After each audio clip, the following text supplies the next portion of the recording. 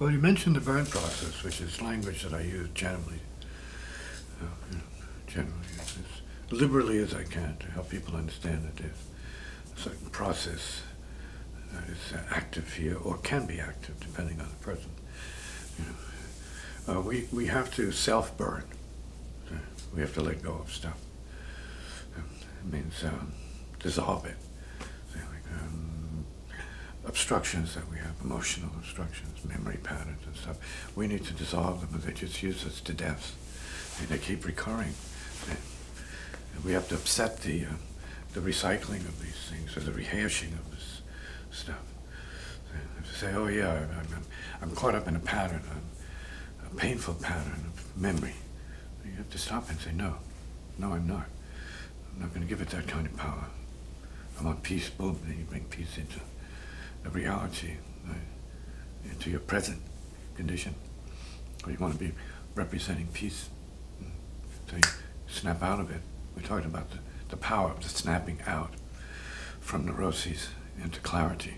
It's very important. It's good practice. It's kind of a mental discipline. Otherwise, you're just going with your emotions and everybody else's emotions, and you wind up somewhere else. Mm-hmm. Now, if we're talking about good feeling, good feeling is good for a while. You can groove on it. And you have to get back to your, your, your center, which may not be somebody else's good feeling. You know, there might be a manipulation or a deception beyond the point. See? So you can't trust it. another person's good feeling, except you can share it up to a point and say, yeah, yeah, I'm coming back to clear now. I need to be clear. See? So I know what I have to do. Not be swayed by the feeling or the mood, which may not have anything to do with you actually when you stop to think about it. You may, you may have a need for clarity rather than being swept away by other people's stuff, right? Ideas, emotions, ambitions, desires, and so on and so forth. Comment? Mm -hmm. So would that be, I mean, there's a maybe a centeredness between, you know, feeling good, feeling bad, and just yeah, paradox? Right. If we're talking about Zen practice, which I think is a good, a good point, mm -hmm. uh, then it's not about any, any, uh, any mood, anything. Mm -hmm. See? Because underneath the, the or, as basis for the Zen practice, we have uh, other schools of thought that use the word soul, higher soul, say Paramatma, super soul. I like to use the word super soul. Uh, it's not for or against anything, it just is, boom, is clear.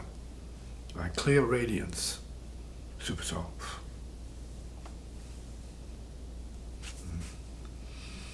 Mm. It's higher practice for some, or beginner's practice for others. It's a good thing to start from a good point to start from. Mm. Then we're projecting our potential instead of being victimized by, uh, let's say, um, lack of understanding of others, a lack of, let's say, um, association or attention to the path of others around us who aren't ready for the path, see, purification and balancing. See? It's not even a concept for them worth considering.